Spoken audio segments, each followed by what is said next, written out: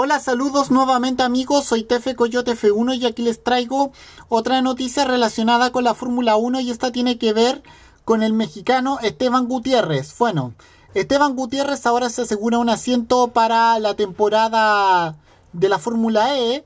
El piloto mexicano había visto muy reducidas, eh, reducidas sus opciones para conseguir un volante en la parrilla de esta temporada 2017 de la Fórmula 1 que va a empezar el próximo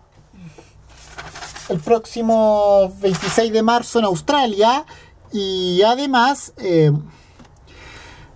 podría ser nuevo piloto eh, Esteban Gutiérrez podría ser nuevo piloto de la Fórmula E este 2017 y es posible que como dice aquí que participe para el IPRIX de México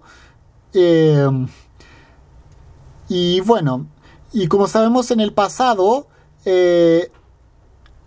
lo, podría, eh, en el pasado, llamó la atención